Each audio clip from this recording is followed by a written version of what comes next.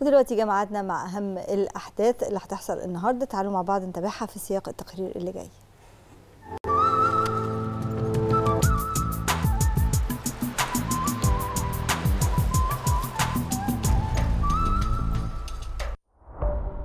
بالنسبة للأخبار اللي هتحصل النهاردة فهيتم إطلاق مهرجان العالمين الجديد 2023 اللي بيعتبر هو الحدث الترفيهي الأكبر في مصر والشرق الأوسط وهيكون فيه أقوى الفعاليات الرياضية والمسابقات والحفلات الغنائية والموسيقية اللي هيقدمها أشهر وأهم نجوم مصر والوطن العربي. المهرجان هتستمر فعالياته لحد يوم 26 أغسطس ومن المتوقع أنه يستقبل مليون زائر من جميع أنحاء الوطن العربي في تجربة صيفية ممتعة وفريدة للزوار في مدينة العالمين الساحرة اللي بتمثل إضافة لمظاهر الحياة الثقافية والترفيهية في مصر والشرق الأوسط.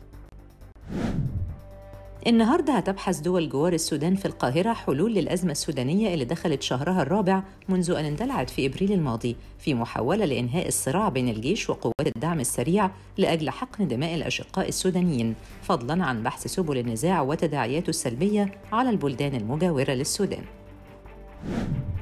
النهارده هتنطلق تحضيرات الدورة الأولى لقراءات وكتب الأطفال لمعرض مدينة الشيخ زايد للكتاب اللي هتقام في الفترة من 13 وحتى 24 يوليو الجاري.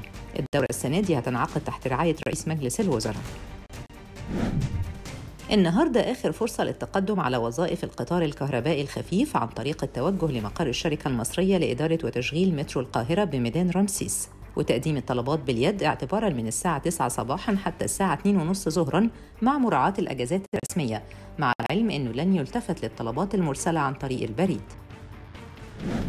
النهارده هتنظم محافظة القاهرة معرض للحرف اليدوية بالتعاون مع جهاز تنمية المشروعات المتوسطة والصغيرة ومتناهية الصغر تحت عنوان معرض القاهرة للحرف اليدوية. وهيستمر لحد يوم 15 يوليو 2023 بحديقة الحرية بجوار دار الأوبرا المصرية وده في إطار احتفالات محافظة القاهرة بعيدها القومي